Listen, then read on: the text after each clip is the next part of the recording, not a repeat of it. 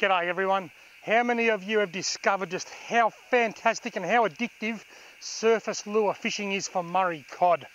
Well, now in this video I'm going to give you a red hot tip to help increase your hookup rate.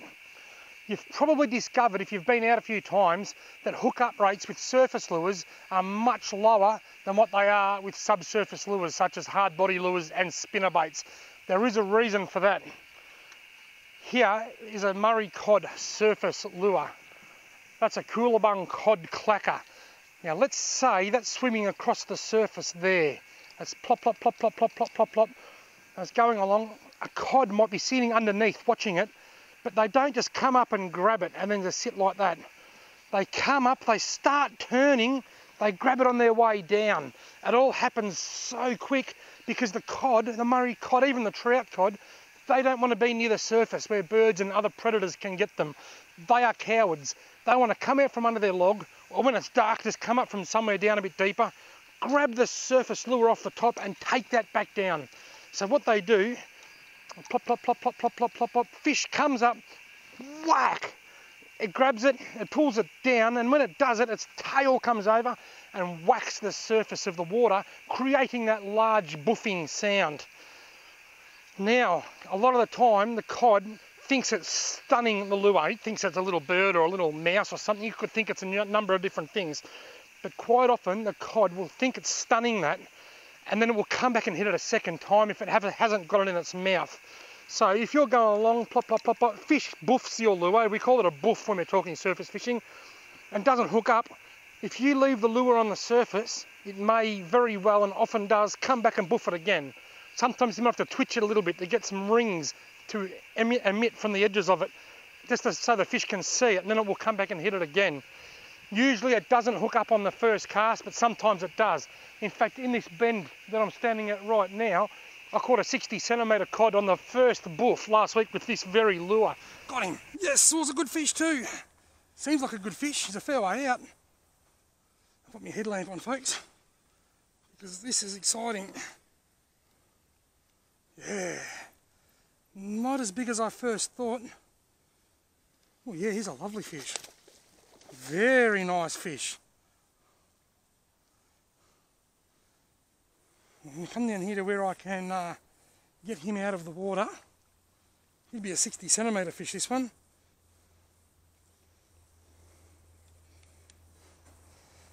I think I've forgotten my tape measure, so what I'm going to do is lay it next to lay it next to my uh, fishing rod, see which eye it's closest to, and then when I get home I'll measure it. He's at least 60 centimetres long. You little ripper, caught on the Koolabung cod clacker. It's actually my first fish on the cod clacker and I'm very, very impressed with the action. Go you, good thing. There's a system that we use when we're surface fishing called the dead hands technique. Now, I'm just being careful here to hook this hook through the wire, not the actual runner of my rod. I'm going to go back a little bit here. As bait fishermen, and even using hard body lures and minnows and stuff over the years, when you're fishing, you get a strike or if you get a bite on your bait, what's the first thing you do? Yes, you lift your rod tip up and you set the hook. You pull the hook into the fish's mouth, the fish is hooked. We call that setting the hook. So if you're using a stump jumper, a fish hits your lure, you lift your rod tip up and put tension on the line. You're using a spinnerbait. Fish hits your spinnerbait on the drop or when it's moving. You lift your rod tip up and you put tension on the line. With surface fishing, because the hookup rate is low, if you're retrieving your surface lure across the water, you know, plop, plop, plop, plop, plop, plop, plop, plop, you get a boof. If you lift your rod tip up and that fish hasn't hooked up, you will pull the lure well away from the fish. And if the fish looks back up to see the stunned animal that it's just stunned and it's not there anymore, it'll swim away and you may never see it again. And another hazard that it creates is that you, because there's no tension on the lure, because it's not under the water, when you pull it, you can have that lure go straight into your eye or whiz straight past your ear. So what we do is we employ the dead hands technique. And this takes a lot of practice especially for those who haven't caught very many Murray cod and are very, very excited about their first buff. So you're reeling your lure in, you're miles away, you're thinking about your kids, you're thinking about your holidays that are coming up, thinking about your mortgage or your sick grandmother or something. Plop, plop, plop, plop, plop, boof! Your lure just gets engulfed in a huge big swirl of water and a big loud splash. You're expected to just pause. Don't lift, just pause. That's called the dead hands. Now, if that fish has hooked up on the first boof, if you're lucky enough for that to happen, it will pull. Within a split second, your line will pull tight as that fish tries swimming away with your lure. You've got him. You've got him on the first boof. Exactly the same as what I did in this hole last week with that 60 centimetre cod. Now, if he doesn't hook up and the line doesn't pull tight, because you've used the dead hands technique and just gone dead, the lure will still be there above the fish. And within a split second, he can come back and hit it again. Or it could take three or four seconds, maybe five or six seconds.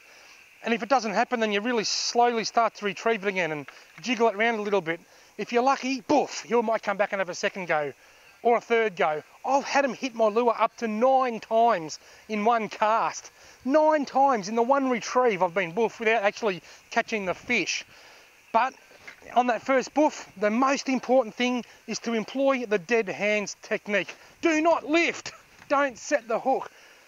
After years of bait fishing and, and fishing with hard body lures, it takes a lot of practice. It takes a lot of mental practice to not get too excited and impatient. Reel it in, boof, just pause. You just pause, you do not lift.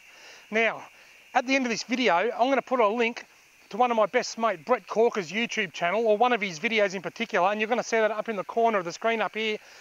And you watch what Brett does. Brett doesn't actually catch the fish in the video, but he gets boofed three times from what looks like a quite decent fish just going by the splash and at no point in time does Brett lift his rod tip up.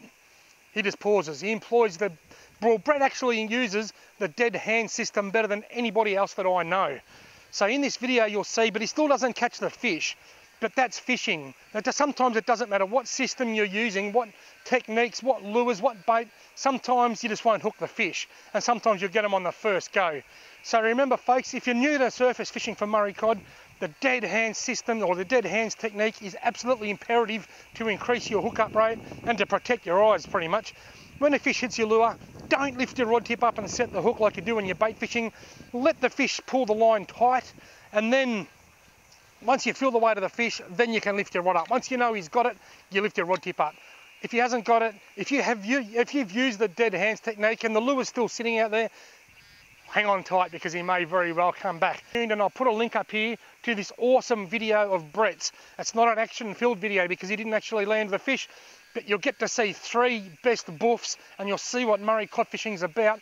And also you'll see Brett, who has mastered the art of the dead hands technique, and while you're there, give Brett a subscribe. Cod Gobbler 01 his YouTube channel is. He doesn't upload a lot of stuff. He doesn't talk to the camera a lot like I do, but you can get a lot of useful tips and tricks off Brett just by watching how he does it.